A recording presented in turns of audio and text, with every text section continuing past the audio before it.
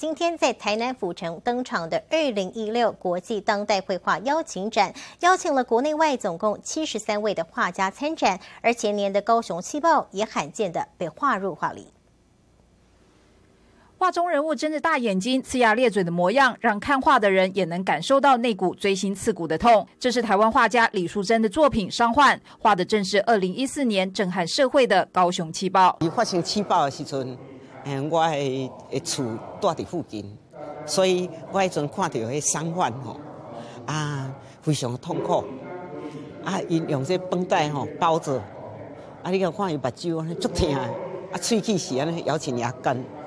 这这绷带吼绑伫手的，但是迄血要咧要咧流。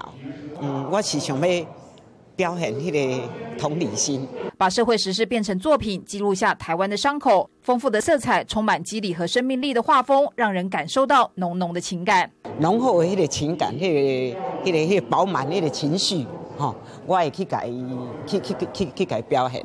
所以我是用个画刀啊，啊，就安尼一张一张。安尼他，哎，啊，甲迄个情绪，甲迄个个性，吼，啊，去甲去甲表达出来，安尼。用艺术呈现真实，正好就是二零一六国际当代绘画邀请展的主题。策展人马方瑜将主题定为《刺客外传》，邀请来自世界各国七十三位当代艺术家参展。艺术家化身为古代的刺客或侠客，用作品戳破虚假，给予社会反省的力量。民事新闻林俊明台南市报道。